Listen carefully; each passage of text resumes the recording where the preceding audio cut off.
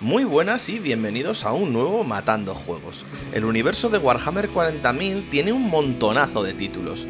Yo no soy gran conocedor de esta franquicia, aunque su estética y lo que he ido aprendiendo de su lore, pues siempre hacen que me atraiga mogollón. Por cierto, soy incapaz de no asociar eh, eh, Warhammer con mis amigos Fer y David, así que les voy a dedicar este review a ellos. Volgant es un título de disparos en primera persona inspirado en los clásicos del género, los llamados Boomer Shooters. La historia nos sitúa en la órbita de un planeta en la que nuestra inquisidora tiene sospechas de que algo no anda bien. Caos, disformidad y herejía, cosas que disgustan al emperador, vamos. Por eso nos envían a nosotros, un pequeño destacamento de los ultramarines, el capítulo más famoso de los marines espaciales. Por desgracia, algo ocurre en el aterrizaje y todos nuestros hermanos fallecen y solo quedamos nosotros. La parte buena es que así no tendremos que pelearnos con nadie por las kills. Yo entiendo que esta historia es la traducción de estás en una taberna y entra un soldado herido que avisa que un pueblo de al lado está siendo atacado por orcos, pues de un mundo de fantasía. Volgant, como juego de tiros en primera persona, mezcla dos conceptos y creo que es capaz de crear una experiencia bastante decente. En primer lugar, tendremos momentos en los que eh, nos iremos abriendo camino por el nivel mientras lo exploramos, conseguimos llaves y accionamos palancas.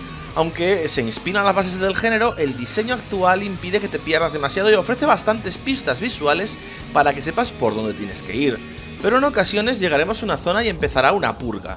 En ese momento se nos encierra en un lugar y el juego empezará a escupirnos enemigos a lo bruto como si estuviéramos en el Painkiller o en el Sirius Sam, títulos que ofrecen un estilo quizás más arena. Estas arenas están bastante bien diseñadas y ofrecen multitud de objetos, munición y por supuesto enemigos donde invertirla. La sensación de ser un marine espacial, un fulano super amplificado, está bastante conseguida y notaremos nuestra superioridad durante muchos momentos. Al caminar notaremos el peso de nuestro personaje. Muchos enemigos mueren con un único disparo, convirtiéndose en una sopa sanguinolenta e incluso dispondremos de un máximo de vida muy superior al de otros héroes del género. Sin embargo, no debemos infravalorar a nuestros enemigos. Despreciarlos sí, el emperador lo exige, pero no infravalorarlos. Lucharemos contra ejércitos de disformidad, y aunque muchos enemigos no parezcan demasiado terribles, estaremos constantemente superados.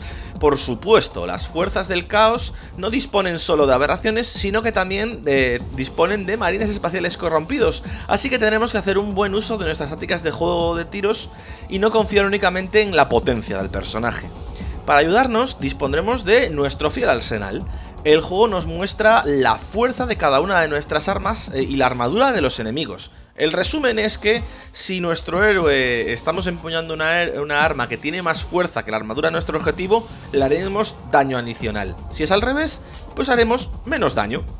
Yo entiendo que esta mecánica está ahí para incentivar el uso de algunas armas contra enemigos concretos y que no nos acomodemos eh, usando únicamente nuestro eh, Volgant, el título del juego y el arma más versátil sin lugar a dudas. La variedad de armas no es realmente grande y aunque tenemos un total de 8 armas, 9 si contamos la icónica espada sierra, no parece que tengamos un armamento especialmente diseñado para cubrir diferentes aspectos y varias armas solapan su utilidad, por lo que no queda realmente eh, claro cuándo debemos usarlas. Yo en lo personal he usado el Volter y el Volter pesado prácticamente todo el tiempo. El primero para avanzar y explorar y andar por ahí, y el segundo cuando me encontraba con enemigos más resistentes o pues pasillos repletos de ellos.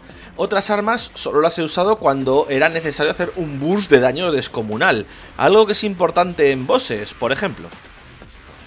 El ritmo de juego es bastante salvaje y nos obligará a jugar enfurecidos casi siempre, incluso si estás en la eh, dificultad normal. Si tenemos poco cuidado descubriremos que los ataques de algunos enemigos son muy peligrosos y no tardaremos en aprender a evaluar la amenaza para saber si debemos plantarnos y bajar cargadores o pues nos conviene buscar una posición más privilegiada. También aprenderemos que los marines espaciales del caos conviene hacerles un overkill, es decir, convertirlos en papilla, si no queremos que la disformidad les ofrezca una segunda oportunidad. En líneas generales, Voltgun ofrece buenos momentos de acción, pero también es cierto que el juego se mantiene prácticamente igual durante las más de 8 horas de duración, por lo que puede ser algo drenante. Tampoco el ver zonas nuevas es un gran incentivo porque en líneas generales da la sensación de que estamos siempre en el mismo lugar, con la excepción de los cambios de capítulo en los que inexplicablemente nos quitan las armas que tenemos. Por ello, aunque es divertido y brutal, creo también que será un juego que mucha gente no sentirá deseos de acabar, ya que el juego no te empuja realmente a ello. Afortunadamente, eh, mm, podéis probarlo a través del Game Pass y creo que es una gran forma de jugarlo, ya que el título, eh, si bien merece la pena acabárselo una vez, no tengo la sensación de que sea un título que vaya a querer rejugar. El combate es visceral y nos sentiremos muy presionados todo el tiempo, aunque recordaremos que luchamos por el emperador y eso activará una ira inclemente que nos permitirá acabar con toda la escoria senos. Si haces caso al sistema de armadura, rara vez tendrás problemas de munición y en general hay objetos por todas partes, por lo que puedes centrarte en pelear. Para mí falla algo en el equilibrio de armamento y un poco en la enorme barra de salud de algunos enemigos, no obstante es muy disfrutable, así que voy a darle el 1,5. La música entra cuando estamos en combate y caracteriza bien el momento de acción y tiene un algo que representa esa ambientación terrible que tiene Warhammer 40.000. Me da un poco de pena que estemos en silencio cuando no hay bronca, aunque cuando no hay bronca, le dejo el punto íntegro. En este género, en la categoría, solemos hablar de diseño de niveles, aunque obviamente no podemos olvidar el hecho de que el juego se inspira en una franquicia con tantísima historia como es Warhammer 40.000. El diseño de niveles está bastante bien y es bastante directo sin mucho lío de laberinto, aunque en algún momento concreto sí es posible desorientarse. Los momentos de purga en las arenas, las arenas están bastante bien optimizadas, aunque a veces son muy grandes y los enemigos pues tardan en enfrentarse a ti.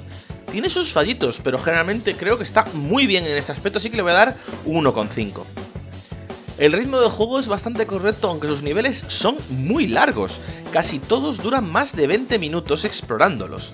La variedad de niveles no es excesivamente notable y eh, puede parecer que estamos siempre en el mismo sitio, al menos hasta que cambiemos de capítulo. Le voy a dejar el punto íntegro.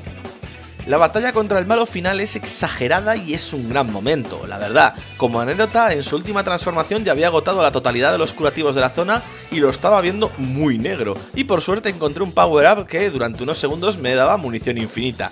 Fue bastante glorioso. Obviando eso, tras superar el juego, he tenido la impresión de que el título es entretenido, pero no creo que trascienda mucho más allá. Le dejo la puntuación íntegra.